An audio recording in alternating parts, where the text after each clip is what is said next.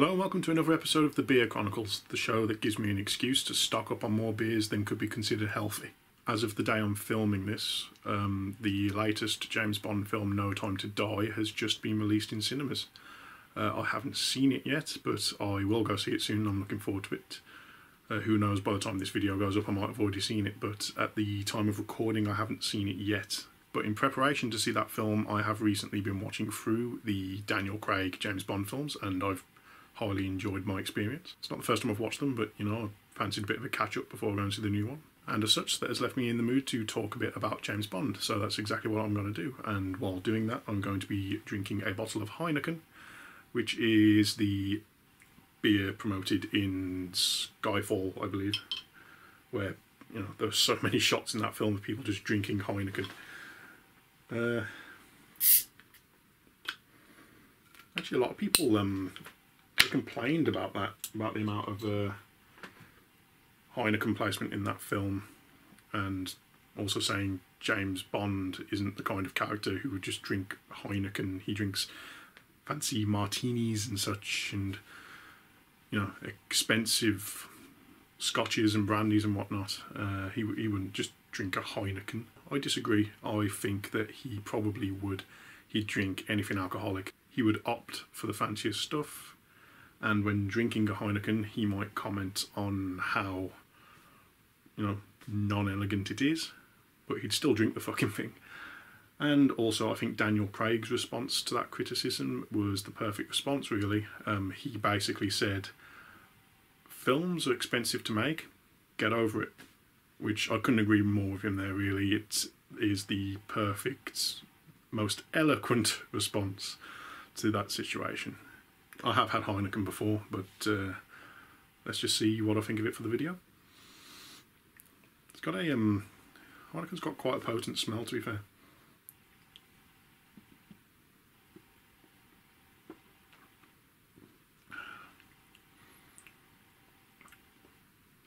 Yep, it's um, it's quite a flavourful lager, really.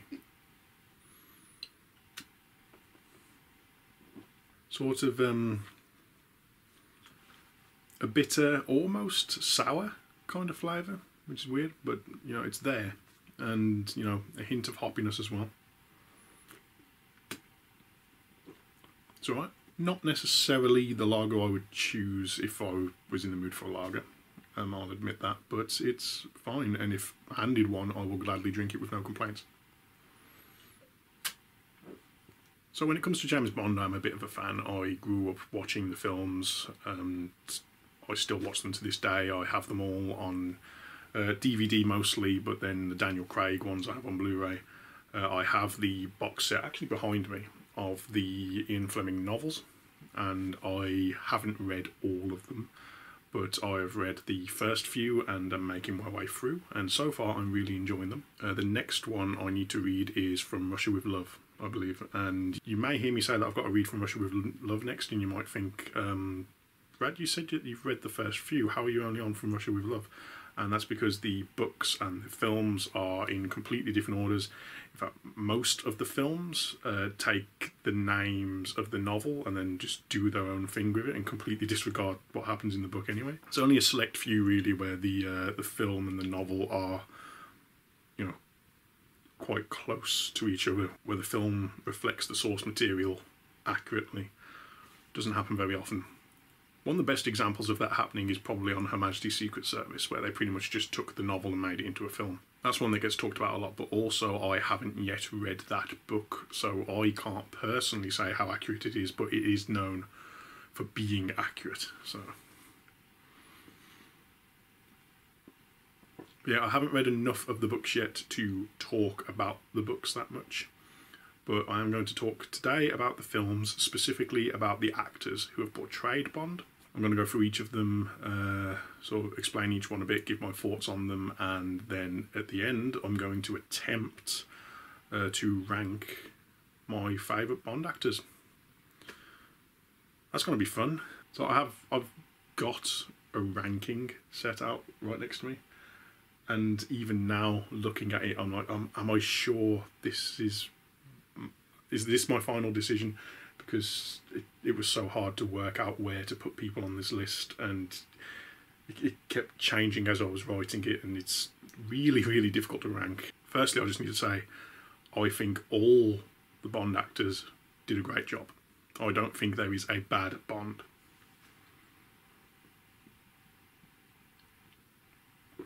But let's go through each of them and talk about them specifically. So first off, Sean Connery. Sean Connery, absolute legend in and out of the James Bond movies. Uh, he is just, he's a fantastic presence. You can definitely believe in some of the more rougher physical scenes that he is the kind of person who could pull off that kind of thing and, you know, you can believe that Sean Connery himself would be that intimidating. And then when it comes to the more sort of elegant side of Bond, you know, the um, the suits, the cars, the martinis, he pulls that stuff off very well. I do think Sean Connery looks very good in a suit. And when it comes to cars, I mean, he was the Bond who had the Aston Martin DB5. That is the best car in all of the Bond franchise, and if you think otherwise, then you are wrong. I mean, when it comes to his run as Bond, he had the first Bond movie, Doctor No, which set the precedent for the whole franchise going forward. He then followed that up with From Russia with Love, which is an amazing film and a fan favourite to this day. And then Goldfinger came right after that, which is the best Bond film of all time. Personally, I'm not as keen on Thunderball, although I do still like it and will gladly watch it. Uh, it's not one of my favourites out of the lot. You Only Live Twice, obviously, that has um, Donald Pleasence as Blofeld. And he is just great in that movie. Blofeld is absolutely phenomenal and is probably the main reason to watch that movie. Uh, but it's worth it just for him. And then after Lazenby came in with On Mostly Secret Service, Sean Connery came back for Diamonds Are Forever. That one is a little bit different from the others. That one's a bit more cheesy, tongue in cheek, comedy focused, uh, not as, you know, not as serious as the other Bond films before it. And it depends what kind of mood you're in. If you're in the mood for that kind of movie, then Diamonds Are Forever is fine. It's a fun romp. It's a great movie to uh, to sort of suspend your disbelief and just sink in and have a good time. But yeah, if you're looking for your more serious spy espionage films, uh, Diamonds Are Forever, it isn't the best one to go through. If you're in the mood for something more serious, that will leave a bad taste in your mouth. But if you're in the mood for it, then I think it's great. Uh, Mr. Winter, Mr. Kidd, I, a lot of people don't like them. I fucking love them. Le Bombe Surprise, that's just wonderful. Actually, a long time ago on this channel, I did a review of a Doctor Who serial called Dragonfire. I did that review with a friend of mine called James. Now, James is also a massive fan of the James Bond films, and we talk about Bond with each other all the time, and we often quote La Bombe Surprise to each other all the fucking time because it's just amazing. So yeah, really, depending on your mood going in, Diamonds Forever is either a great romp, a fun time, or one of the weaker Bond films in the whole franchise. It just really depends on your mood. Then next up we have uh, George Lazenby, who was Bond for one film and one film only on Her Majesty's Secret Service, which is the greatest Bond movie of all time. It is an absolutely amazing film, and when I get round to reading that novel, I'm really, really looking forward to that. It's kind of weird because in the film franchise it comes after You Only Live Twice, and in You Only Live Twice you see Blofeld for the first time, and then this sort of follows it up. But in the novels, um, On Her Majesty's Secret Service was actually the first time that you see Blofeld. That was when he was revealed. And because the film of On Her Majesty's Secret Service is so faithful to the novel, when Bond and Blofeld meet each other in that movie, it very much does feel like they're meeting for the first time because it's such an accurate recreation of the events of the novel, and in the novel, they are meeting for the first time. So it doesn't really feel like a sequel to You Only Live Twice, even though it's supposedly the same character. it doesn't feel like it. Um, he's played by a different actor. Bond is also played by a different actor. These two characters have seen each other before, but they are acting like they've never seen each other before. So it's just got this really weird feeling to it. It really makes it stand out, not in a good way, from the rest of the franchise. But as its own individual property, it is an amazing Bond film. It is absolutely spectacular. And if you've grown up with the sort of opinion that it's not a great Bond film, which a lot of people had at the time when it came out, I highly recommend going back and watching it again now with a more mature mindset. And you might be surprised with how great a film it actually really is. Unfortunately, when it comes down to it, George Lazenby himself as Bond isn't necessarily that great in the role. He was an Australian model before making this movie. He had pretty much no acting experience whatsoever, and it does come across a bit. His acting isn't terrible, but it's probably the weakest that we've had in the whole franchise, to be honest. He still did an okay job, and he definitely looks the part, but when it comes down to it, he didn't act it the best. And there are scenes in it where he sort of has to put on a different accent, and George Lazenby couldn't do it. So they got him to mouth the lines and dubbed over it with a different voice actor. And it really stands out, and it, it just doesn't feel natural to watch those bits. And I can't understand why they did it, because there's no reason to me why he couldn't have just spoken with his normal Bond accent. It's not like anyone there would have recognised him. He's going in there as a person, as a character who they'd never seen or heard before, so why would he need to talk differently? And they'd never seen or heard him before, even though Blofeld had seen him in the previous film. Um, he was clearly looking at his face and meant to believe that he's not James Bond, and yet. But for some reason, he has to change his voice, and I don't understand why. I don't understand why that was necessary. Maybe just because it happened in the book and they wanted to be more faithful. I don't know, but that's that's a change I would have made if I was writing for the film, especially considering the fact that George Lazenby couldn't do the voice and someone else had to dub over it.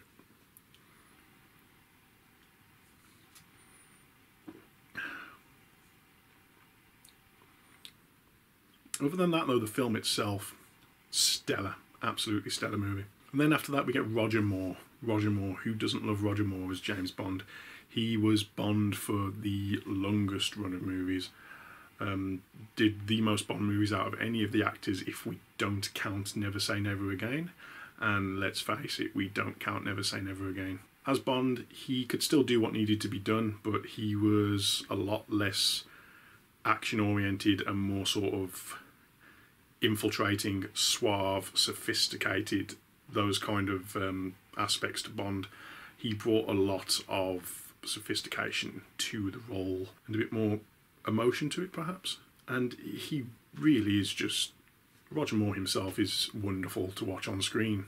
He's such a charming, charming man. And on and off camera, he just fucked everyone. Fair play. highlights for him, I'm going to give a bit of a hot take at this point. Uh, the Man with the Golden Gun is regarded by many to be a terrible Bond film, one of the worst, in fact. Uh, it is one of my favourites. I think The Man with the Golden Gun is a brilliant Bond film, and I do not understand all the hate it gets because I think it is great. It's one of the ones where if I'm in the mood for a Roger Moore film, I'll often opt to go specifically for The Man with the Golden Gun. I really like it. Christopher Lee as Scaramanga is just wonderful in the role, the same as he is in any role he does. The golden gun itself is a wonderful little gadget. I do like how it's just made up of these little gold objects that combine together into a gun. Really clever and really wonderful to see. And a wonderful prop for any fan to have in their home if you can get hold of it. and Nick Nack's just hilarious. And then, of course, The Man with the Golden Gun is immediately followed by The Spy Who Loved Me, which is the best Bond film of all time you know, it's just a truly wonderful film. Some great set pieces, some great locations, um, wonderful in pretty much every way. Really, that film. Uh, the introduction of Jaws as a henchman, um, he's just it's Jaws. What more do I need to say?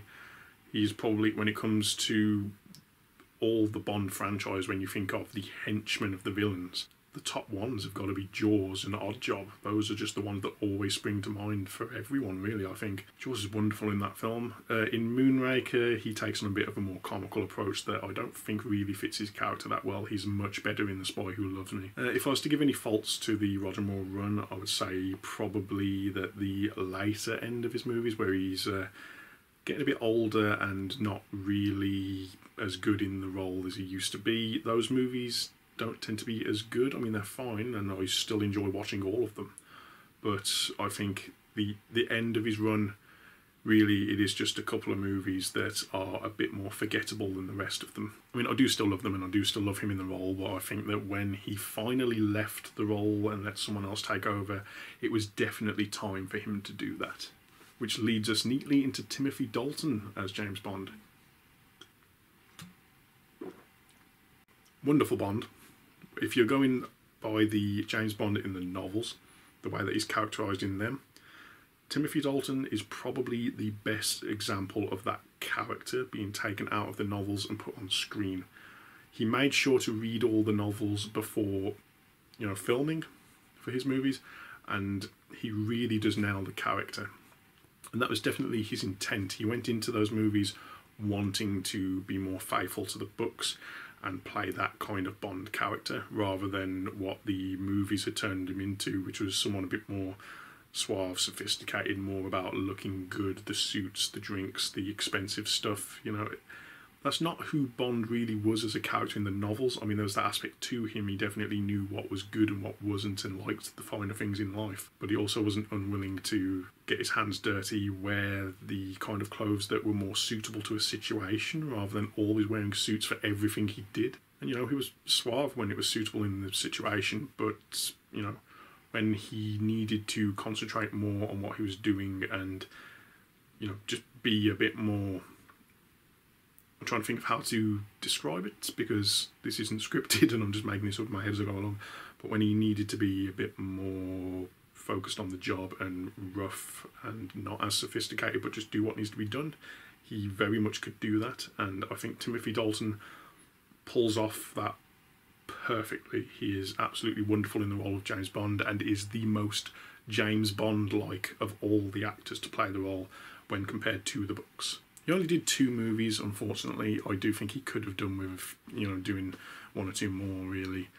Um, I think The Living Daylights is the weaker of the two, in my opinion, although I do know plenty of people who think it the other way around.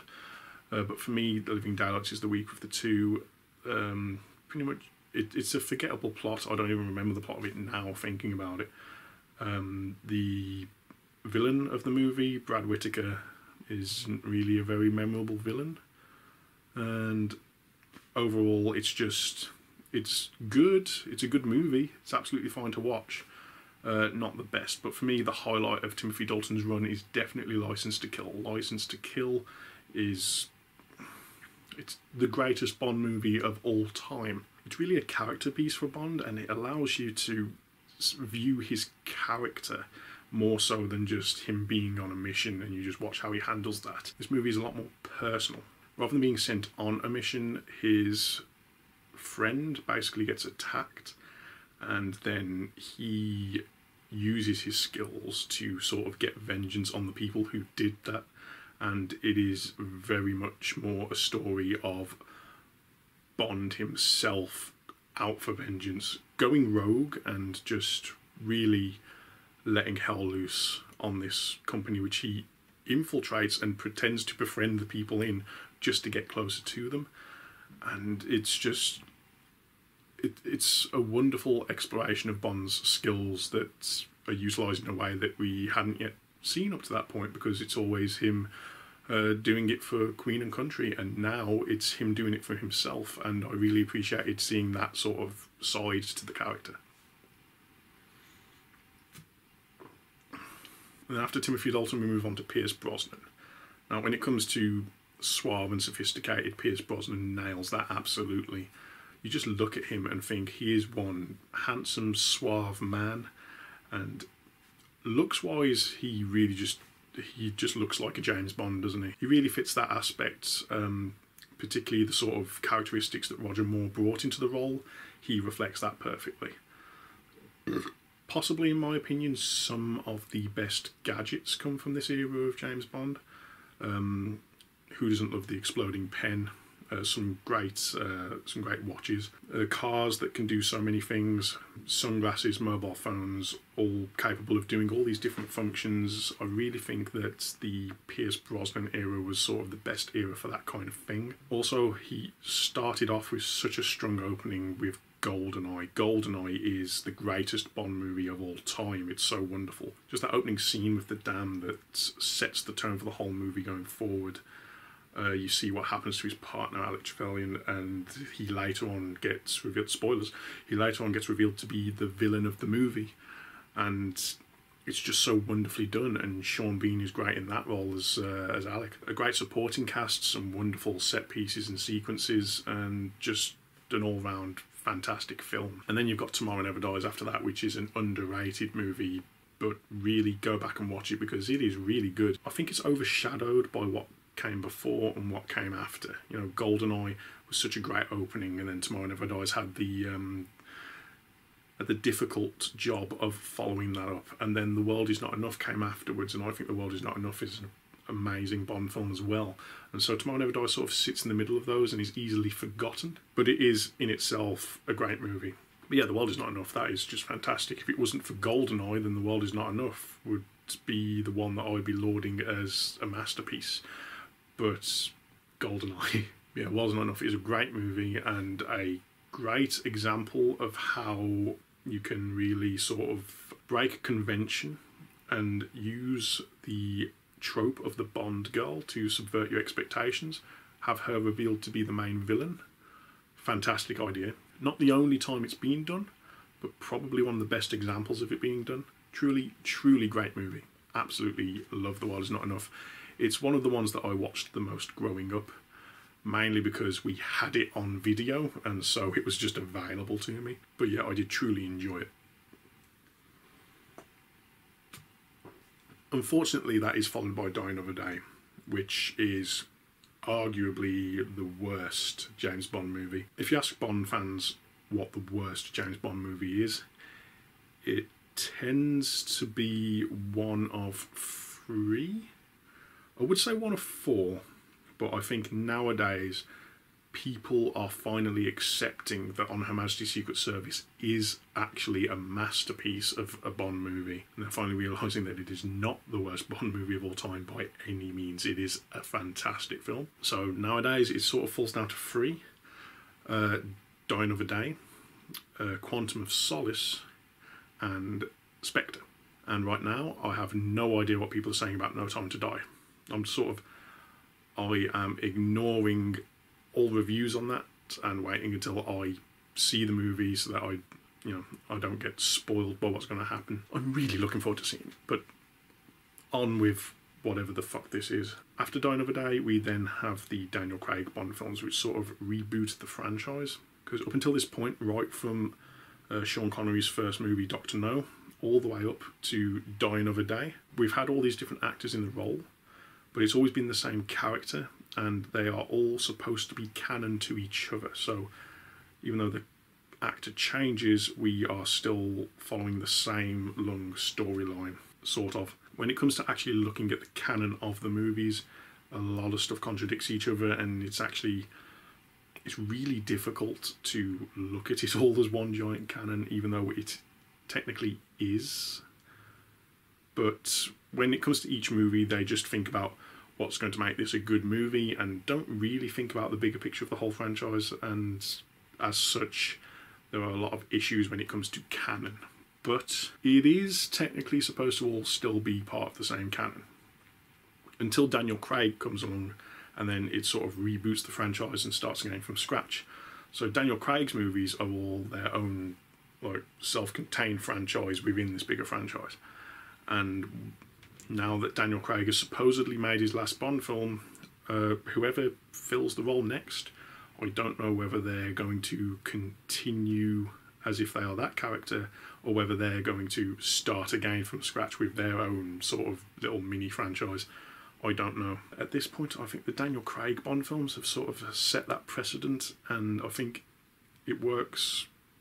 It works well enough that they should probably keep that going. Plus, when you just look at the story, the whole thing with Daniel Craig's Bond is, you know, a lot of it is about him being old, part of the old way. He's retired so many times in just like five films. Really, I think following that character with a new actor playing the same character and trying to extend that franchise beyond that point is kind of pointless, and I think they should just reboot again. Again, who knows? It may fully depend on the ending of No Time to Die, which I still need to see. But when it comes to the other Daniel Craig Bond films, he starts off with Casino Royale, which is the greatest Bond movie of all time. Truly wonderful adaptation of the first Ian Fleming James Bond novel. It understands what to do in an adaptation as well, I feel.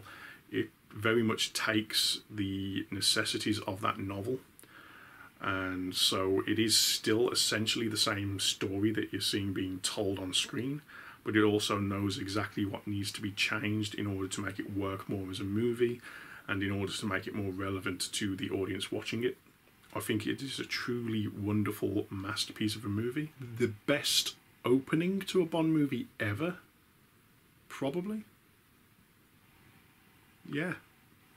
With the um with the free running at the start, it's just an amazing sequence and really, really sort of demonstrates right from the off who this character is because the way that he chases down uh, this guy who does all this free running stuff and he's just charging through everything to get to him it really just it shows how he's still skilled but also brutish and much more straight about things. And it's just it's, it's hard to describe without you just watching it but if you haven't seen it then you really owe it to yourself to see Casino Royale because it is a wonderful, wonderful film. Uh, Mads Mikkelsen as Chiffre does a fantastic job. But he is not the Chiffre from the novel, but I think the character he plays works wonderfully for the film. And the main plot points to do with that character still take place really, um, other than other than the cheating aspect. I think in the novel they were playing a Baccarat instead of uh, Texas Hold'em poker, and Chiffre was originally cheating to earn winnings from that, and Bond realised what he was doing. He was using a shiner, uh, which, if you don't know, that is a term for when you have something reflective on the table, so that when you pass a card over it, uh, you can glance at its reflection and see what it is, and you know, obviously, that's a way to cheat. I think if they try to implement that in the film, it wouldn't make so much sense these days because the sort of setting that that card game takes place at would be an establishment that would look for that kind of thing nowadays. It's a lot more well known and easier to spot. Whereas back when the Casino Royale novel was written, it might have been a bit more believable that people wouldn't realise that sort of thing was going on. But uh, yeah, they would definitely spot that nowadays, and that would not that would not work do not go into a casino and try to use a shiner. You will not come out of that unscathed. So yeah, that's sort of ignored, and instead of Chiffre being a character who sort of cheats his way into money and becomes very cocky because he just sort of knows he's going to win. Um, he's instead a very intelligent character who wins with skill and intellect and just expects to win. And then when his ultimate plan involves winning all this money at this card game, then Bond comes along and is a better card player than him and just wins. It seems like, you know, he's surprised that his plan fell through, but how can you put so much stake into just a game of chance. This is me picking flaws with the movie now, but it's still like, you know, an amazing film. Definitely, definitely worth a watch. But then that's followed by Quantum of Solace, which a lot of people regard to be one of the worst Bond movies, and I sort of did think that as well for the most part until I watched through the Daniel Craig films again recently. And on this on this watch through, I don't know, I just something clicked with me. I enjoyed it a lot more this time around than I had done previously. I think one aspect of that was probably because I watched it so recently after watching Casino Royale, the next night, in fact. And so it's very much set up to be a sequel to Casino Royale. It's pretty much the first time a Bond film has ever been made to be a direct sequel to the Bond film that came before it. Yeah, when you sort of go into it with um, the knowledge of the previous film still fresh in your mind and knowing that it is a sequel to that and you're watching it with that mindset, it just it works more. Also, I think one of the biggest disappointments for that film is that you know, people come to expect certain things from Bond movies. They expect big action set pieces, and this movie has those, but it's not really the main focus of it. This is less of an action movie and more of a sort of character piece. Uh, we really explore the character of James Bond, uh, how he's dealing with the betrayal and death of the woman that he's fallen in love with, and how ultimately by the end of the film he has to sort of get over that and become the secret agent that he needs to be, who just focuses on the mission again and doesn't let his own feelings and emotion get in the way of that. And then you also have the Bond girl of that movie, uh, Camille, who is in a sort of similar situation to Bond, has sort of uh, same sort of thing going on emotionally for her. And hers is a story of revenge, and Bond is sort of helping her achieve that. And I think a lot of people are let down by it because you know, after so long of James Bond, they just come to expect certain things. And if you go into this not expecting those things and take it for what it is, it actually does its job very well. It's just, you know, after so long, it finally tried to do something different, and I've sort of got to respect it for that.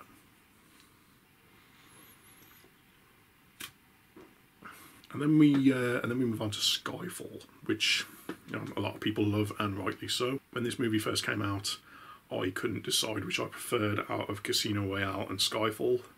They were both amazing, both still are amazing, but I think on this watch through I have come to realise that Casino Royale is still the better film, but Skyfall is still wonderful. And then Spectre is the other film that many people dislike, and I don't see why, because when it first came out in the cinema and still to this day, I love it. I think it is a great Bond film, and I do not see why people give it so much hate. I think Daniel Craig continues to do a wonderful job in that movie. I think Christoph Waltz as uh, spoilers again, uh, Blofeld. Um, I think he's fine. This isn't the best role he's ever done, and even he's admitted to that since and sort of apologised for it. But I still think he does fine. I think he's going to do the character better in No Time to Die. Obviously, I still haven't seen it, but based on the trailer, he looks like he's giving it a bit more effort this time around. But he was still fine. He was still fine for what he was. And I think the plot itself of Spectre was absolutely fine, and I don't see why people hate it so much. I think it's a great film. Um, I do think the reveal that uh, Christoph Waltz's character turns out to be Blofeld, I saw that coming a mile off. I mean, it's a film about Spectre. He's the head of Spectre. You have the imagery of him in that sort of uh, jacket that you've come to sort of, you know, relate to Blofeld. Uh, you have him sat there silhouetted, which is an image often you know seen when it comes to Blofeld. And then when you have that scene where he's got Bond strapped to the chair and that white cat jumps onto Bond's lap, uh, that's just like the first sort of sign of yeah, this is the Blofeld reveal. Um, by the time that happened, I was like, yeah, this is it. He is Blofeld, and that was that knowledge was then secure in my mind. But even before then, I knew I knew that was going to be revealed. And the weird thing is, if you haven't seen the Bond films before, then if you hadn't seen the um, the Sean Connery Bond films, then the reveal that this is Blofeld would mean nothing in terms of just the Daniel Craig movies and just this movie on its own. Um, he reveals that he is now Ernst Stavro Blofeld, and that means nothing in the movie, and it means nothing to the characters. So, yeah, in terms of its own enclosed story, that reveal doesn't really work he says it and it seems like it should be a big thing, but it really isn't. In the context of the story and the characters involved, it means nothing. It's just a new name he's given himself. It really only means something to fans of the older Bond films. But being a fan of the older Bond films, it does mean a little something to me. But even so, it's, you know, it wasn't a shocking reveal. I, I saw it coming a mile off. Despite that, though, I still do really like the movie.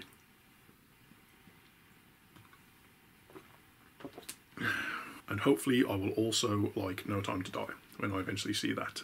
Daniel Craig himself, I do really, really enjoy as Bond. I like how he is a lot more sort of rugged and rough, and when it comes to the fighting and the martial arts and such, you really do feel like this guy could kick these people's asses the amount that he does do. It's almost like there's no acting behind it. It's just like this is a man who can do this stuff. You very much believe that. I also like how his Bond gets hurt a lot more than other people's Bonds. It seems a lot more real.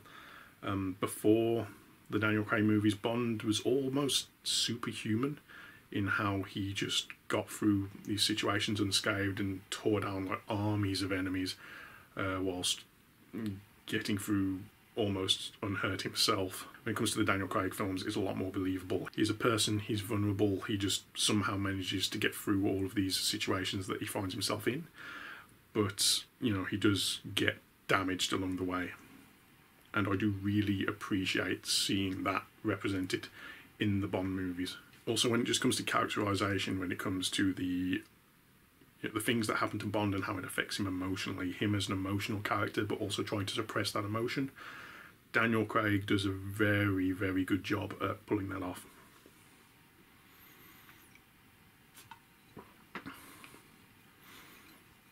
So yeah, now that I've talked a bit about each individual Bond actor and the movies that they're in, I think it's finally time for me to give my ranking.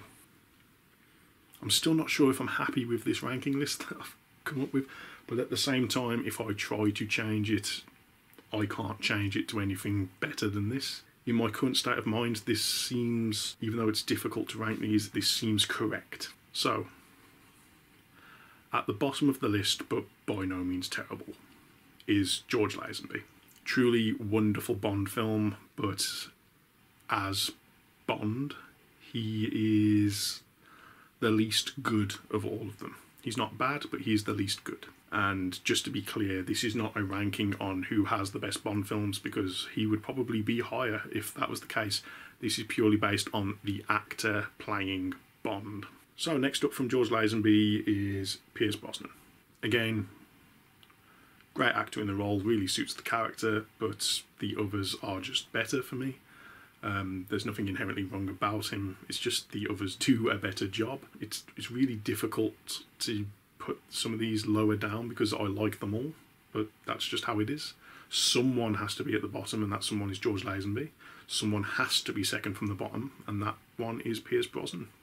Next up from Pierce Brosnan, and this is the one that really makes me question this list because I did not expect this actor to be so low down on the list until I wrote the list. And since then, I've been thinking about it and deciding whether or not to switch him with someone else and get him a bit higher up. But at the end of the day, I can't. I have to put him here, and I really, really don't want to. But I just feel like it's it's right for me personally, and my own tastes in what I want in a Bond. I'm putting Roger Moore here. It feels sacrilegious to do so he would be in most people's top three, if not top two, if not the best. But I don't know. For for me, I've got to put him here, and he is great. He is absolutely wonderful, and I do really, really enjoy him in the role. But I just think the other three do a better job at portraying the Bond I want to see. I think based on the three that are left, which is Sean Connery, Timothy Dalton, and Daniel Craig, you can probably tell the sort of Bond I want to see. And Roger Moore brings a sort of uh, sophisticatedness, a suaveness, a certain emotion to the character, which is wonderful, but isn't necessarily one of the most important factors to me when it comes to Bond. So, even though I do love Roger Moore, this is where he is on the ranking. In third place, I've put Timothy Dalton, who most people would probably put below Roger Moore, to be fair but I just think he does such a good job at portraying the Bond from the novel, and I really appreciate that. And I do think he is probably one of the most overlooked actors in the role and really deserves more love than he gets. I do think he is truly worthy of being in the top three, and he is for me. And then there were two Sean Connery and Daniel Craig, Who do I think is the best?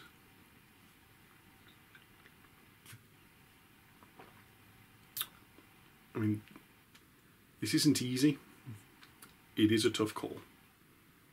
They are both great in the role, and both for similar and different reasons.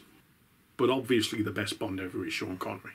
Particularly after recently watching through the Daniel Craig movies, it was very difficult not to put him at the top because he just he brings something to the character that was very much needed and is wonderful in the role. But I can't put anyone higher than the legend that is Sean Connery.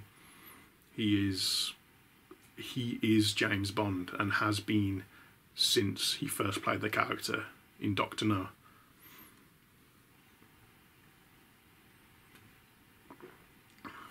And I don't think it can really be argued that he isn't James Bond.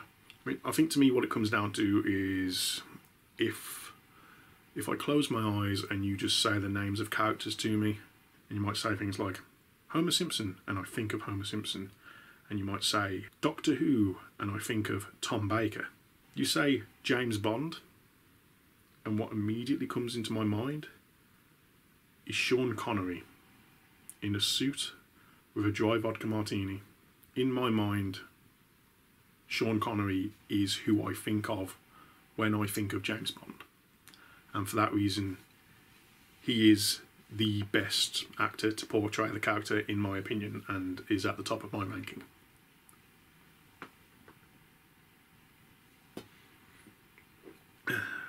We are done. I do seem to do a pretty good job at uh, finishing these beers at the right time. Anyway, let's get this uh, crossed off on the poster.